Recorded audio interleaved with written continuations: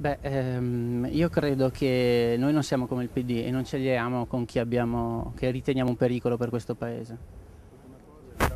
Orellana che sicuramente vi chiedono tutti, ma purtroppo ve lo devo chiedere, qual è la, la vostra valutazione? Ma eh, Luis sta all'estero, credo. Torniamo, ci parliamo, mm, che vediamo un po'. Io me lo prendo, mi, ci- mi faccio una birra e gli ricordo che cos'è il PD. Io ce l'ho tutto segnato, che cos'è il PD e vedrete che se glielo ricordiamo, lui si ricorderà che cos'è il Partito Democratico, cioè il partito dell'incoerenza.